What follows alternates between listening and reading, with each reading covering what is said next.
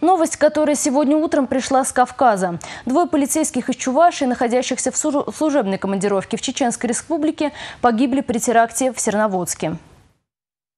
23-летний Леонид Пучков и 28-летний Александр Егоров несли службу в составе временной оперативной группировки в Сунжинском районе Чечни. Ночью на территорию РОВД попытался прорваться боевик на автомобиле, начиненном взрывчаткой. Постовой успел выставить заградительное сооружение. Взрыв прогремел за территорией РОВД. В результате трое полицейских погибли, четверо получили ранения различной степени тяжести. Личность террориста установлена, он принадлежал к одной из группировок. Сегодня же в Северокавказский регион выехала комиссия МВД по Чувашской республике для проведения проверки.